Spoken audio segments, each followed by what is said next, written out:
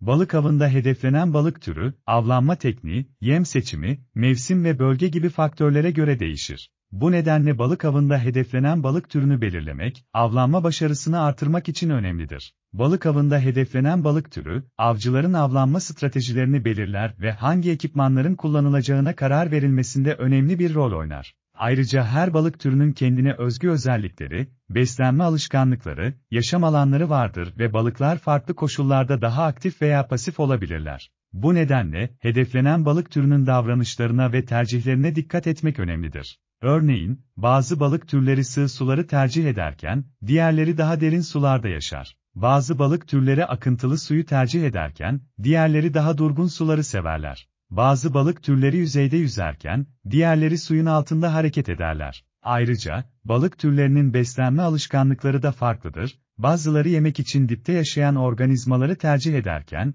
diğerleri suyun yüzeyindeki böcekleri yerler. Balık avında kullanılan ekipmanlar, hedeflenen balık türüne göre değişebilir. Bazı balık türleri, yemeklerini yakalamak için canlı yemleri tercih ederken, diğerleri suni yemlerle daha iyi tepki verirler. Bazı balık türleri daha büyük ve güçlü olduğundan, daha güçlü olta takımları kullanılması gerekebilir. Ayrıca, bazı yerel yasalar belirli balık türlerinin avlanmasını yasaklayabilir veya kısıtlayabilir. Bu nedenle, balık avı yapmadan önce yerel yasalara dikkat edilmesi önemlidir. Balık avında en çok hedeflenen balık türleri arasında şunlar sayılabilir. Lüfer, güçlü çenesi ve sırt yüzgecindeki siyah lekesi ile tanınan bu balık, Karadeniz, Marmara ve Ege'de bulunur. Ekim ve Kasım aylarında avlanır. Canlı yem veya suni yem ile yakalanabilir. Edi ve lezzetli bir balıktır. Çipura, gümüş rengi pulları ve altın sarısı çizgisi ile tanınan bu balık, Akdeniz ve Ege'de bulunur. Yıl boyunca avlanabilir. Kumlu veya çakıllı zeminlerde yaşar. Canlı yem veya suni yem ile yakalanabilir. Beyaz etli ve sulu bir balıktır.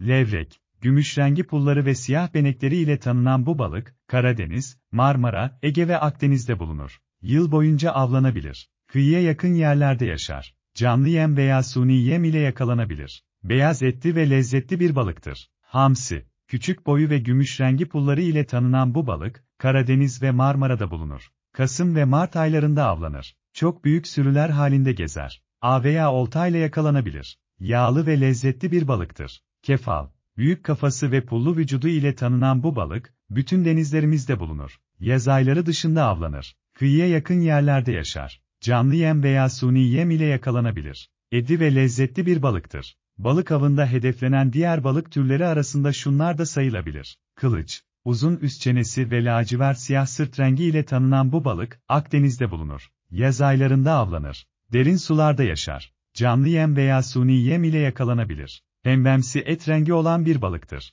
Tekir, barbunyaya benzeyen ve yakın akrabası olan bu balık, bütün denizlerimizde bulunur. Yıl boyunca avlanabilir. Kumsal veya taşlık zeminlerde yaşar. Canlı yem veya suni yem ile yakalanabilir. Edi ve lezzetli bir balıktır. Mezgit, tavuk balığı olarak da bilinen bu balık, bütün denizlerimizde bulunur. Yaz hariç devamlı yumurtalı durumdadır. Derin sularda yaşar. Canlı yem veya suni yem ile yakalanabilir. Beyaz etli ve lezzetli bir balıktır. Kolyoz, gümüş rengi pulları ve uzun vücudu ile tanınan bu balık, Karadeniz, Marmara ve Ege'de bulunur. Yaz aylarında avlanır. Sürüler halinde gezer. Canlı yem veya suni yem ile yakalanabilir.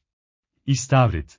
Küçük boyu ve gümüş rengi pulları ile tanınan bu balık, bütün denizlerimizde bulunur. Yıl boyunca avlanabilir. Sürüler halinde gezer. Canlı yem veya suni yem ile yakalanabilir. Yağlı ve lezzetli bir balıktır. Palamut. Uzun vücudu ve siyah sırt rengi ile tanınan bu balık, Karadeniz, Marmara ve Ege'de bulunur. Eylül ve Kasım aylarında avlanır. Göçmen bir balıktır. Canlı yem veya suni yem ile yakalanabilir. Edi ve lezzetli bir balıktır. Balık avında hedeflenen balık türü hakkında size daha fazla bilgi vermeye çalıştım. Umarım faydalı olmuştur. Balık avına çıkacaksanız iyi eğlenceler dilerim. Bize katılarak ücretsiz içeriklerimizi takip edebilirsiniz. Ayrıca, öğrenmek istediğiniz konular hakkında yeni videolar hazırlayabilmem için, videoların altına yorum yapabilirsiniz. Kanalıma abone olup, videolara beğeni bırakarak destek olabilirsiniz.